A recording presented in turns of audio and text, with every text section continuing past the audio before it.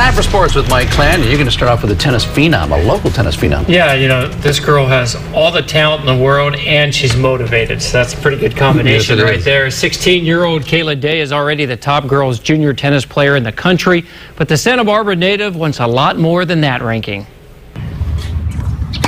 Lefty Kayla Day is right on track to where she wants to be on the tennis court. Junior tennis is 18 and under, so the 16 year old Day's number five world ranking is quite impressive. I'd like to win a junior grand slam this year. That'd be really great. So I'm hoping I can do that. She almost took care of that at this year's Wimbledon as she advanced all the way to the semifinals. She will get another shot at the U.S. Open.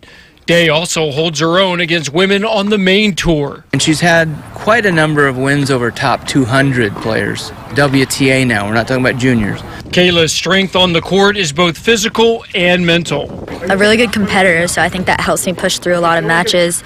And I have a pretty good serve, so that helps me set up a lot of points. She trains mostly in Carson at the USTA Center, where working on that left handed serve is a big focus. Her wide serve to the ad court could get more width.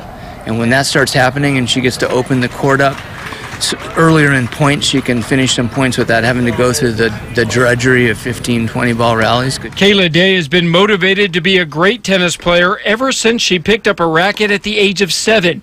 Back then, she wrote down that she wanted to be the number one player in the world by the age of 20. That doesn't seem so far fetched anymore. And Kayla Day turned 17 years old in late September.